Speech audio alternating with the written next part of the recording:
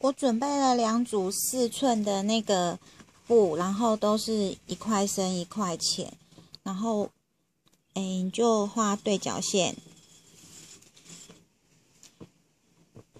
一个是画叉叉的对角线，然后一个是只画一条对角线。然后我们就拿到那个缝纫机去，沿着这个线旁边留四分之一英寸，把它车起来。车好的这一片，你就先裁对角线，裁，嗯，对不起，是先裁十字线。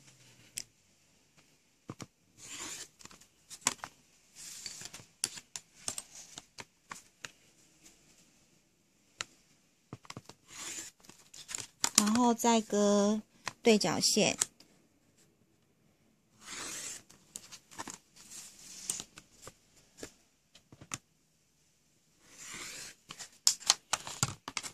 然后你看那个尺上面，它附给你的这个图，我刚刚裁的是四寸的那个布片，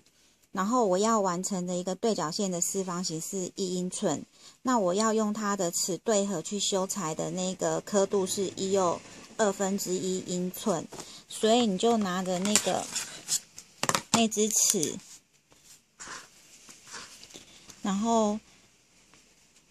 它这个尺有一个很方便的地方，就是它有一边就是一半的地方是以英寸为记号线。那另外一半呢，你就会看到它这边会有一又二分之一，二又二分之一。那我们刚刚看它是要用一又二分之一去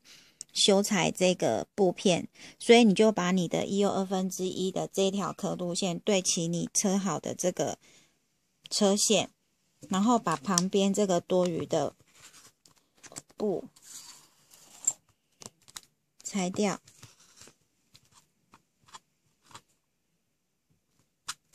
那你这个完成以后的这一片，它就会非常非常的准，而且很四正。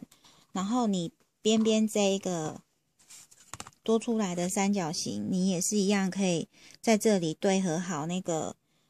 一又二分之一英寸，在你的那个接合线以后，把两边这个小三角形割掉。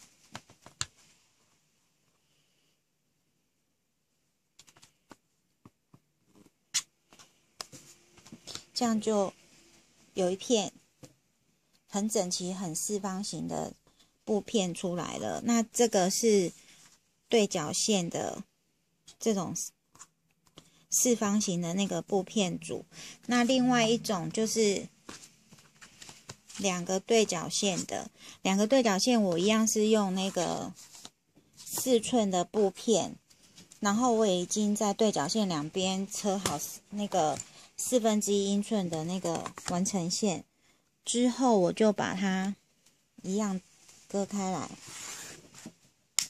然后你割开以后，也是会有两片这样子对角线的那个四方形，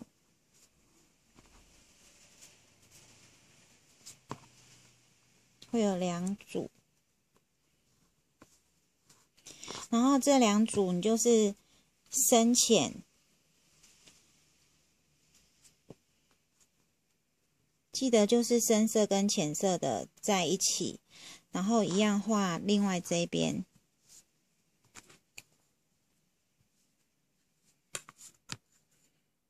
的对角线，然后到缝纫机那边去，把两边沿着这个两边四分之一英寸的地方车起来，然后车好之后。一样，再把它割开来。那你把它打开，它就会变成那个两个对角线的正四方形。然后再拿着这个尺，一样，它上面有一个表格，就是我们刚刚裁的时候是四寸，所以你现在对合的地方是在三寸，我们完成的时候是二二又二分之一英寸。那你就拿那个完整的这一边，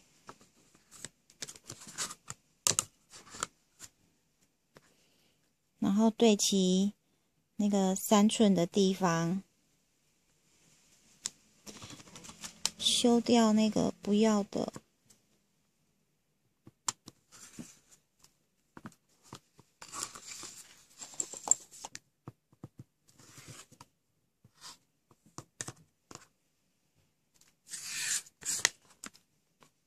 这边也是一样，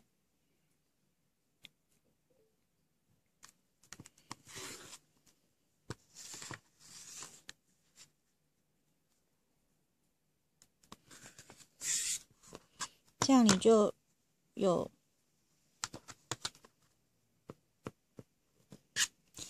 你就可以有两片这样子的对角线的那个四方形的布片组。那这样可以非常帮助你非常快速的去组合类似像这样子拼接的图形。